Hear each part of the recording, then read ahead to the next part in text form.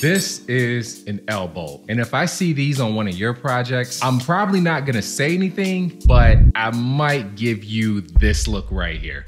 L bolts and J bolts fall into a family of cast in anchor bolts where they're used to tie elements down to concrete. They've been used for decades, anchoring your walls down to the foundation, for anchoring deck posts down to the foundation, and they've been used by our friends in the steel industry to anchor down column base plates to the foundation. These things are very strong, they're very durable. However, engineers are phasing these out and just aren't using these on our projects anymore. L bolts or J bolts should not be used where they're required to resist uplift forces. Uplift forces I'm referring to are wind induced at the roof level, which transfer into the load bearing walls your rafters or trusses bear on. If the wind force acting on your building is greater than the weight of the structure resisting the wind force, your home will have a net uplift force. But based on updated wind design speeds in recent editions of the code, it's safe to assume that the average single or two story home will have net uplift forces. It's not that this thing is weak in tension or anything. There's only a small portion of this rod that can be utilized to determine how much this can resist as far as uplift. And that scenario is what we call pull out, the ability of this thing to stay in the concrete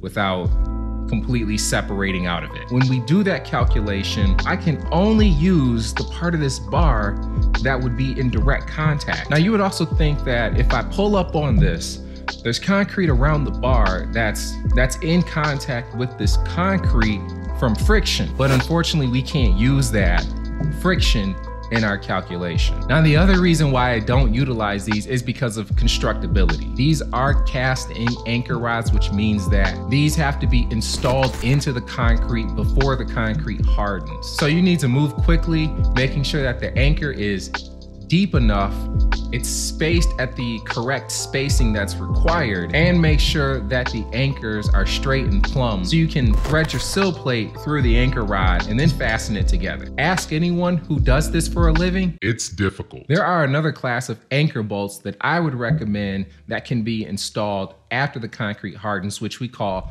post installed anchors. So the type of anchor that I typically specify is what's called a screw anchor. It's exactly what you think it is. It's a screw with the threads around there. The way that it, this is installed is that you drill the hole first. You clean out the hole you just drilled. You set your sill plate and then literally screw this right into the concrete and tight to the sill plate. These things are strong. They have a lot of capacity, if not more in some cases than a cast installed anchor, and these are available everywhere, including your nearest hardware store. Another option pretty similar to the screw anchor is what's called an expansion bolt. These things have great capacity, in some cases even more than what a screw anchor has. And it's installed the exact same way. The only difference is that when this is tightened to your sill plate, these flanges at the bottom right here will push down and into this bumped out piece and these will spread apart locking it into the concrete. So it's another great alternative as well.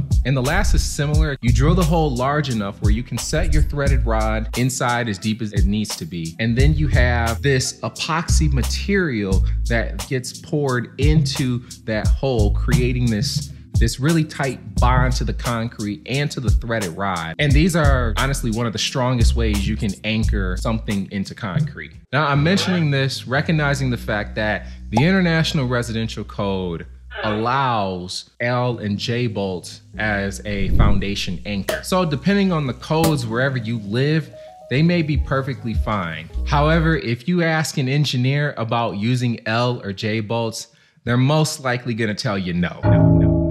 And for individuals who don't really have a lot of experience doing building construction, there are so many options that provide the same capacity as an L or J bolt without all of the skill that's necessary to be able to install J bolts correctly.